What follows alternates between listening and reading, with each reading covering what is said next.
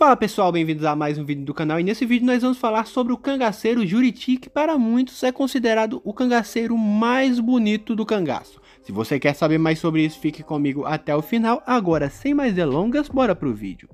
O cangaceiro Manuel Pereira de Azevedo chegou ao bando de Lampião com o nome de guerra Juriti, mas Lampião de imediato quer trocá-lo para Massarico. Mas o recém-chegado cangaceiro rejeita o novo nome por considerá-lo muito afeminado e impõe a sua vontade de permanecer sendo chamado de Juriti.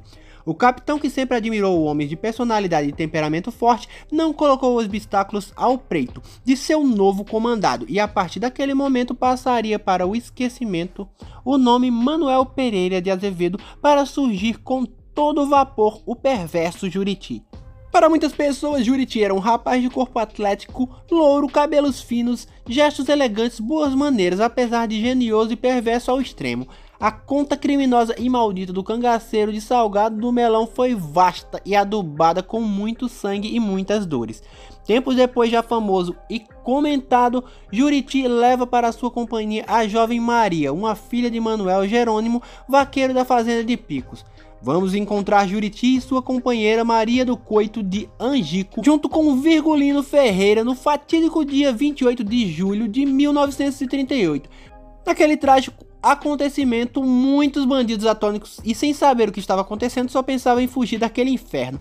Milagrosamente, muitos conseguiram sair daquele inesperado abismo que bateu sobre o grupo de bandoleiros. Milagre não foi possível para 11 cangaceiros, incluindo o maioral, o grande chefe Lampião. Do contingente que conseguiu se salvar, alguns foram baleados. A luta para transportar os enfermos foi titânica. Os que tinham condição de carregar os feridos não pouparam esforços, mostraram que faziam parte de uma família verdadeiramente unida.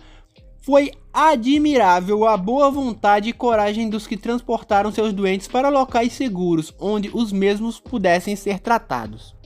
Apesar de tudo que acontecia na época, as pessoas ainda defendiam os cangaceiros. Apesar da crueldade do mesmo, ele foi vítima de covardia. Se achava anistiado e até trabalhou de vigia por um tempo. Será que ele não é digno de uma cruz justamente no lugar onde ele foi queimado vivo? Sim, e esse foi o final do cangaceiro Juriti que era o cangaceiro considerado mais bonito do bando de Lampião e foi queimado vivo. Se você gostou desse vídeo, deixa o like, se inscreve no canal e ativa o sininho para receber todas as nossas notificações, assim você não perde nenhum conteúdo novo aqui do canal. Nós vamos ficando por aqui, fiquem com Deus, um grande abraço e até o próximo vídeo.